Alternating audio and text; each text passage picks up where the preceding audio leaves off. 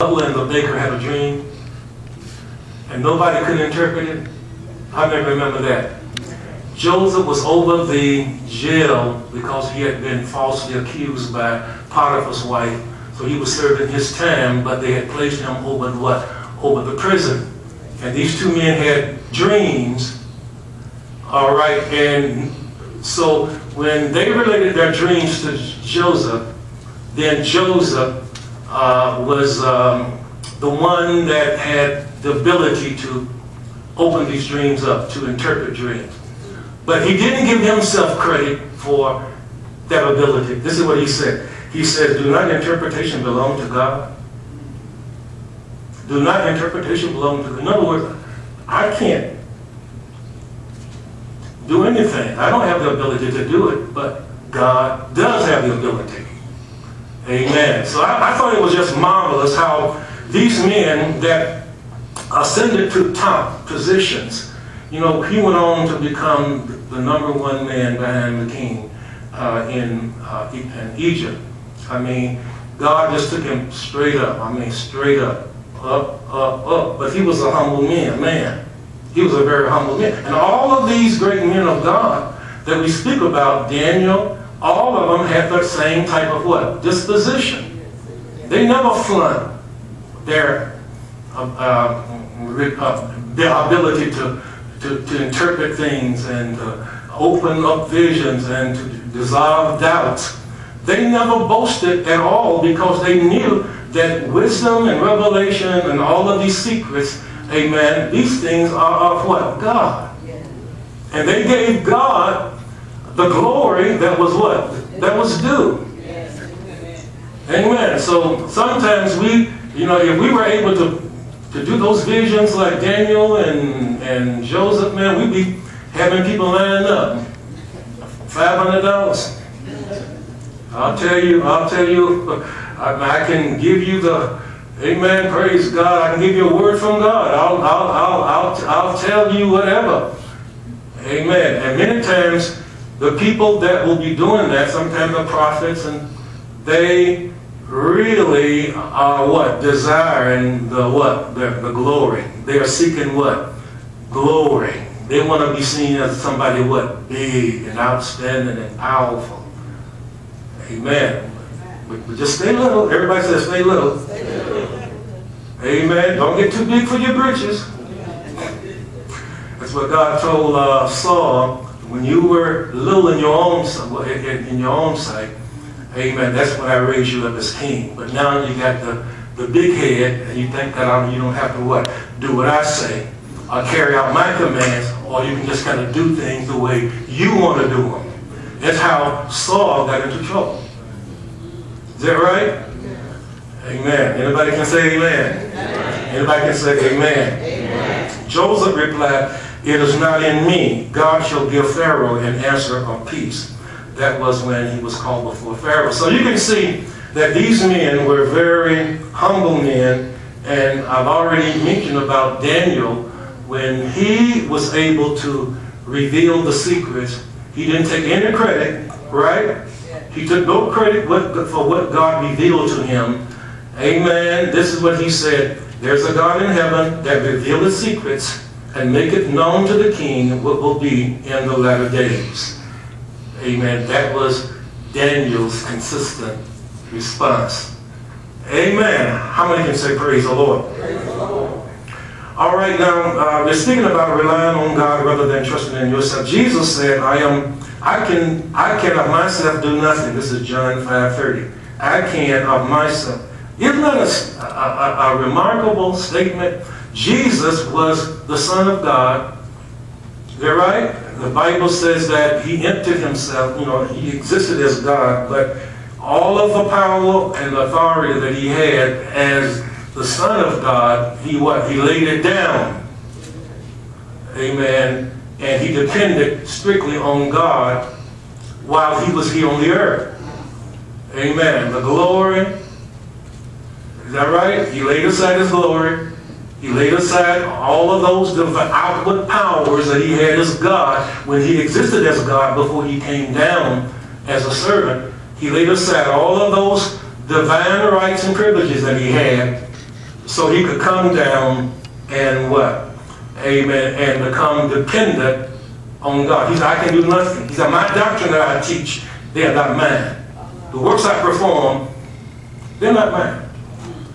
So he was completely dependent upon God. He said, I of myself can do nothing. How many know that God really wants us to depend on him?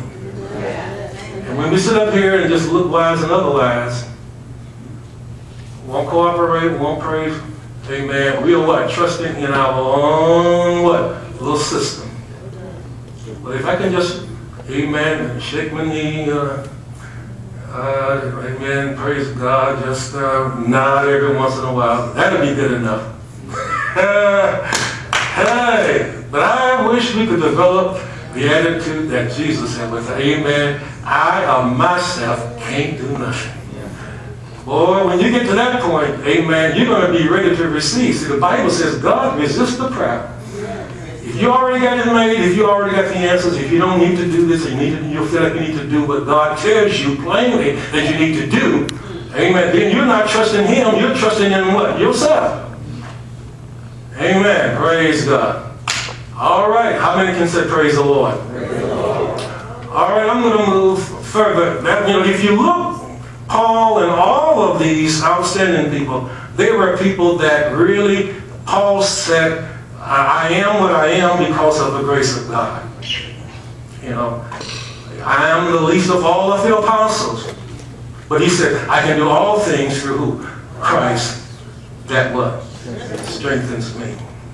Amen. So it's a good thing, amen, to rely on God. And when you really, really rely on God, amen, when praise and worship come, nobody have to what? Tell you anything. You're going to what? If you feel the need, if you're trusting in God, if you know that God said all things by prayer and supplication with thanksgiving, let your request be made known. And the peace of God, which passes all understanding, will keep your hearts and minds in perfect peace. When you know that your answer is in what? Cooperating, getting into the flow. Amen. Get in, everybody say, get in the flow. Amen. Amen. Uh, since, uh, you know, years ago, praise God, we made a whole lot more noise. Amen. It, it was coming for saints to dance in every service. It was. Amen. So I, I think that we need to get back to dancing. Yes. I think that we need to get back lifting up our voices. Hallelujah. I think we need to get back to praying in the Spirit, singing in the Spirit. As long as we do it our way, amen. Am I getting through, Brother Enrico? Amen. Praise God. See, Brother Enrico likes it real simple. Amen. Praise God. Because I know that he can, once he gets something, he got it.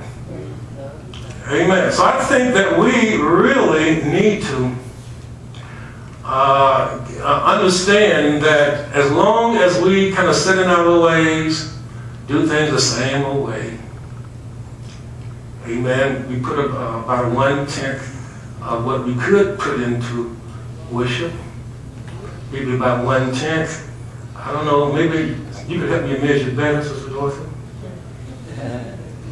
Sister Sharon, about one tenth, how much, how much uh, real involvement do saints put into what they're doing?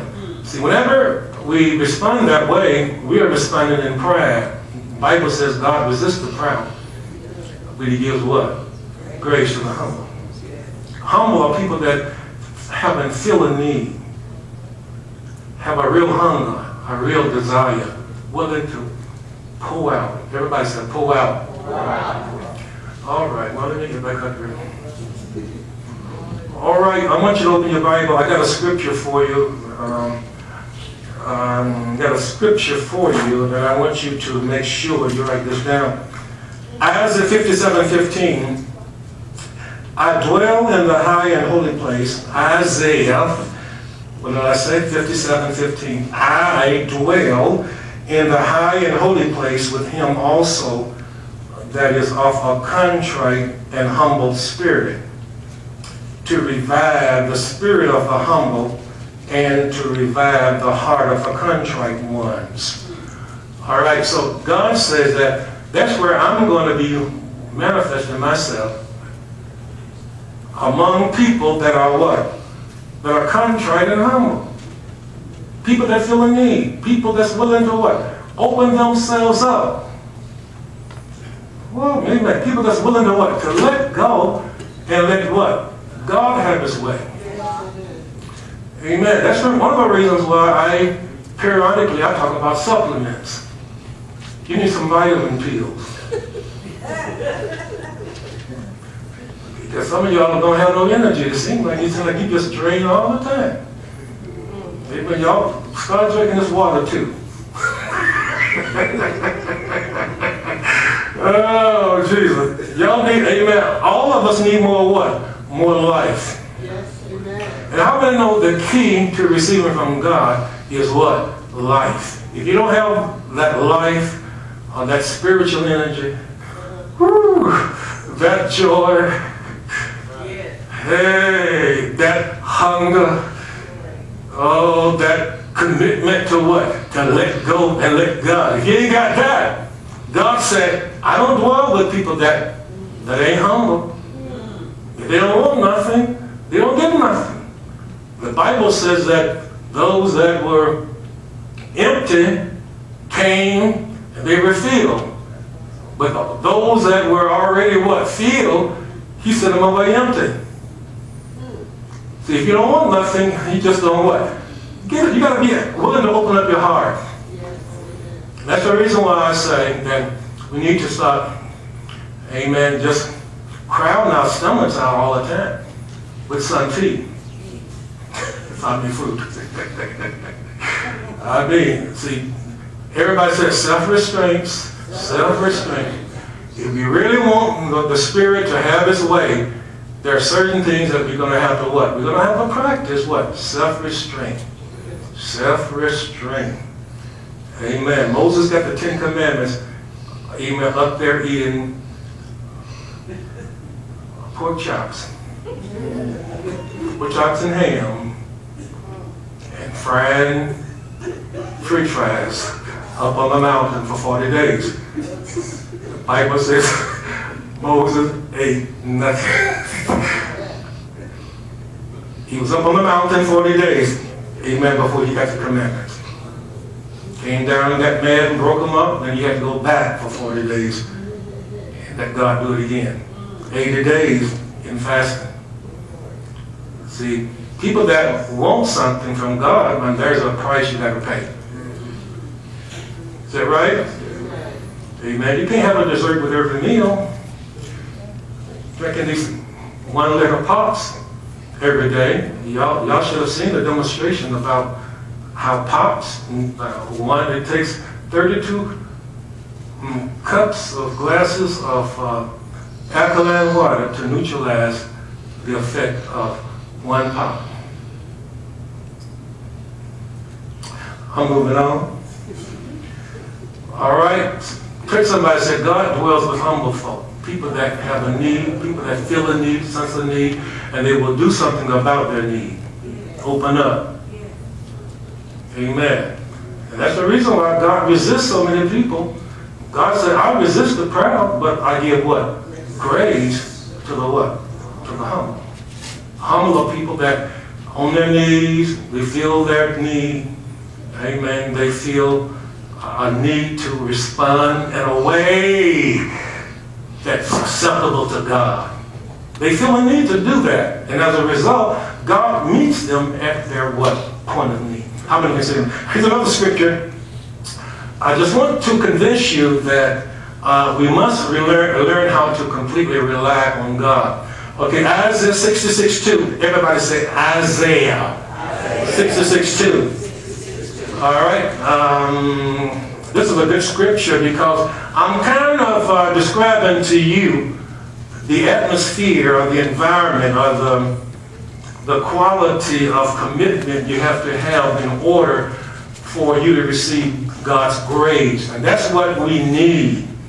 How many, how many can say we need grace? See, grace is uh, God's favor. And God's favor. You know, there's a lot of definitions that we could say for grace. We sometimes we say God's unmerited favor. Sometimes, to put it simple, God doing for you that nobody else can do for you. Uh, somebody said God's inclination to uh, to release in your life, you know, His love, His mercy, His goodness, and all of His fullness.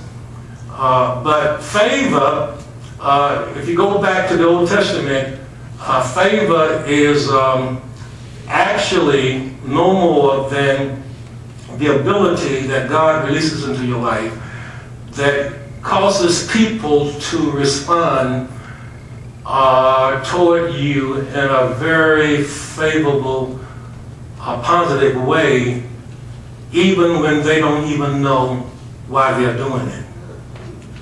It's something that about you that cause people to respond to you in a way that will always be what? Favorable. All right. Even though they don't understand why they are doing it. Anybody, you ever seen anybody like that? Amen. I sometimes I be with Sister Hill, and uh, people just like, I guess her face is, is kind of, uh, I, I draw for, she got a friendly face. And, uh, and people say, oh, really easy to talk with you. They start talking with Sister Hill, and about four, five minutes, they're telling her all their secrets, the history of their life. They say, you're easy to talk with. And, uh, and uh, you know, everywhere she go, we were down in, uh, going to Houston, coming back from Houston one year, the ice storm took place between Houston and Dallas, and we were stranded, and we had to stay in a church all night. This was a church that was taking people that were stranded on the road. Took us in. We were one of the few, only black couple. It was about 100 people there. They took us in. Well, we, we were sure glad to get off that ice. And one while I thought I was going to have to sit in Walmart all night. okay, I was, we were prepared to sit up in a chair at Walmart all night. And the weather was just, uh, we just couldn't go any further. And so they took us in, they fed us, and they gave us beds and all of that. And Sister Hill, you know, she found somebody to talk to. Everybody she talked about, they seemed like they didn't want her to go. I mean, she went from this one to that one. They started gathering around her. But I just like, you know, they just be drawn to her. I mean, they weren't drawn to me. I, I was trying to get, find my meditation book. Sister Hill was around talking to folks. And the next day when we got ready to go, amen, like the people was pleading for her not to go. They wanted to stay. well, that's what I'm calling, talking about favor. Everybody say favor. And what was it about, what was it about uh, Joseph that when he was sold in Egypt, he ended up in Potiphar's house, right? And uh, he, uh, he was such a goodly, uh, good spirited. I mean, his personality was a personality evidently that really exuded, you know. And he just connected with Pharaoh, I mean, with Potiphar and his household to the point where in a little time, they put him over the whole house. A stranger, somebody they had bought. Put him over everything. And everything that took place in that house, amen, had to go through Joseph. The Bible says everything that he touched prospered. Some people just scared. I mean, we call that favor. Everybody says favor. And that's what the Bible says. God resists the power, the, the proud, but he gives what? Favor to the humble. Take somebody say to the humble. Say it again, to the humble. He gives what? Grace. He gives what? Favor. And talking about the potential that we have as believers, see, uh, we, we define uh, favor as uh, grace today. So grace would be the sum total of all, everybody just say all, all. the sum total of all that God has done for us through Christ. Everything that pertains unto life and unto the sum total of all that God has done for us. All of his goodness, all of his righteousness, all of his mercy, all of his love, all of his wisdom. All that he has done for us through Christ and all that he administers to us now through the Holy Ghost. So that's the reason why the Bible says all things are yours. Boy, talking about somebody blessed. Ooh, Lord. We are blessed and don't know it. We are blessed and what? Complaining, whimpering, whining. Everything that pertains unto life and unto godliness is yours. It's already yours. Legally, it's yours. Right? The provisions has already been made for these things to become what? Actually yours. How many can say amen? amen? But why isn't it that we don't get the full benefits of everything that has been legally provided us? Is because sometimes the grace is, is like this. Ooh, glory. Um, if you would think of grace as the electricity that runs to this church and those air conditioners that's running non-stop outside as faith and this thermostat as hope. Uh, your faith won't do nothing if the grace can't get to it. See, if electricity can't, if it's not plugged in, if we're not plugged in to the city, those air conditioners won't what? Won't work. And you can flip that thermostat all you want to. You can jiggle it. But ain't nothing happening. Everybody understand what I'm saying? And we want to know, sometimes we wonder why we got all these provisions and blessings, yet when we flip the, the deal, nothing happens. Sometimes when we look outside, the unit ain't even running right. Because what? Sometimes, because many times we're not what? Plugged, we're not hooked up. How many believe that you can place yourself out of the range where God's grace can't even get to you? What I'm talking about. You can place yourself out of the range. So when you lift it up in pride, I'm gonna cut this off in a minute. My time, my clock, my clock is ticking. It's getting hotter by the hour. I know y'all want to get home, don't you? All right, now here, here's the thing.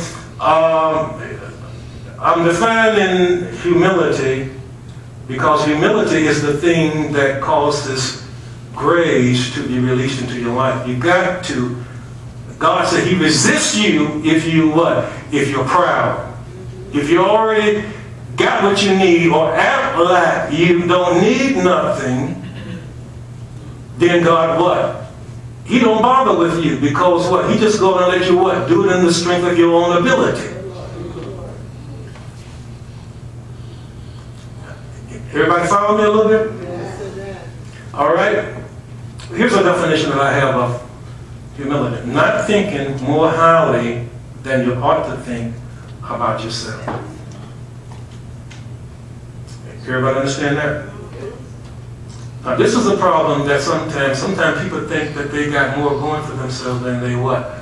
Got. The Bible says, wherefore, you know, this is what we call believing lies about yourself. Someone said humility is not believing lies about yourself.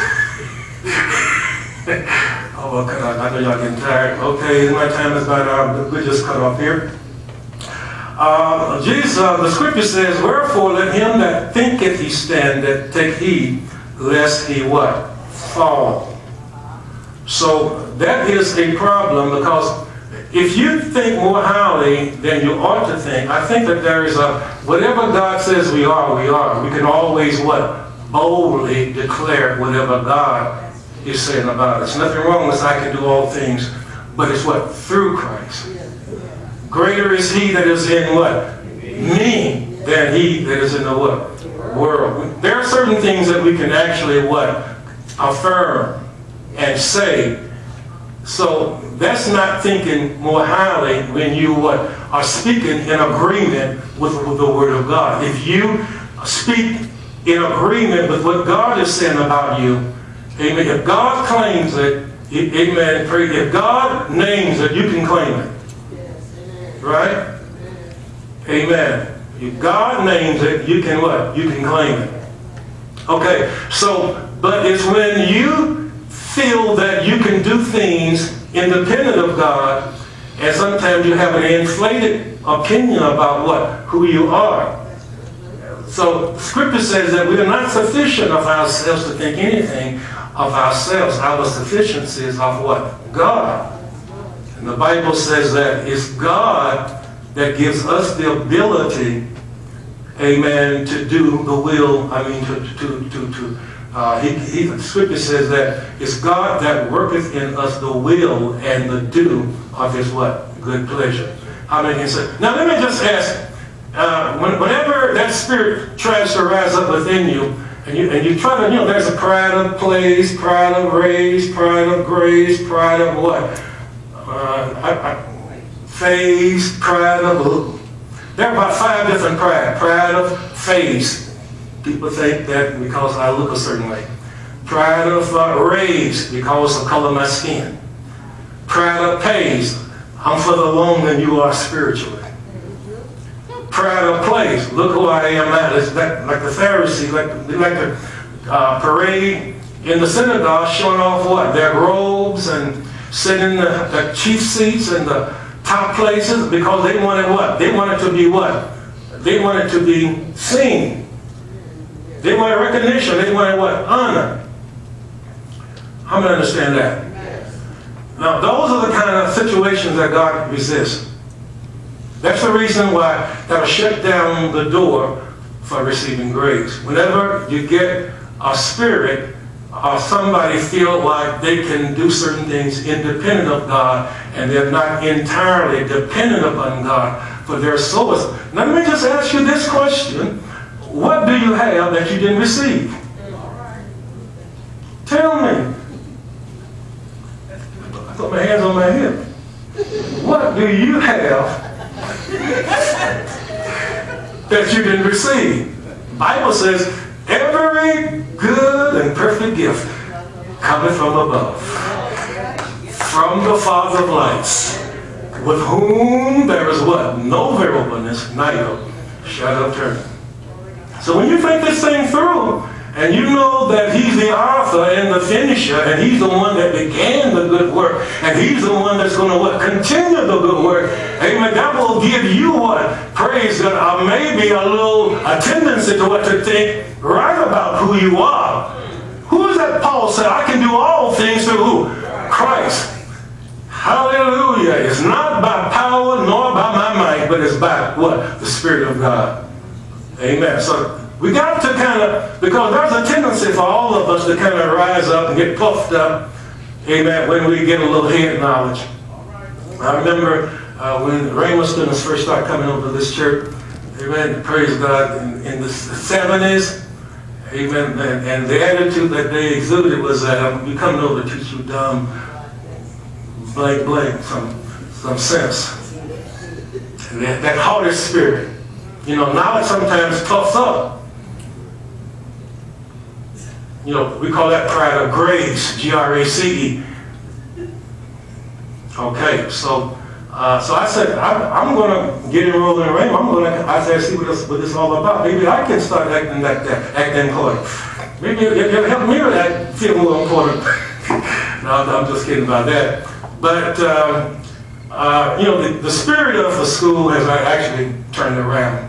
And they've taught, you know, that didn't come from Brother Hagin, it just came from people that, you know, sometimes you get a lot of oddballs from all over, and they just come in and think they, amen, they know Brother Hagin's, they heard Brother Hagin's tape, or take a class or two, they think they know everything. Everything that is to be known. I think it's a good attitude. Y'all can just take it for whatever it means. The more you know, I think that you ought to be inclined to, to, to have the attitude, the more that I need to learn. Don't let a low knowledge get you what puffed up because it's going to cost God to what to resist you. Amen. You're going to start making some crazy blunders and mistakes and and get, get all involved in error. If you step out there on your own, I'm gonna understand. God wants you to stay little. Touch somebody and say, stay little, baby. Act like you have a need. Time to come to worship, just don't sit there and look and act half interested. Get into it. Show God that what? Lord, don't pass me by. Lord, I'm here. Lord, I need your help. I'm going to cut off. Oh, I'm not nearly through, but my timekeeper. She a good timekeeper? Right, so the daughter I don't know she's going to be a Sister Hill's corner. Amen. Amen. Hallelujah. God resists the proud, but he gives what? Grace to the humble. God says, don't boast about how rich you are, how much wisdom you got, and how much knowledge you. He, he said, the thing I want you to boast, that you know me.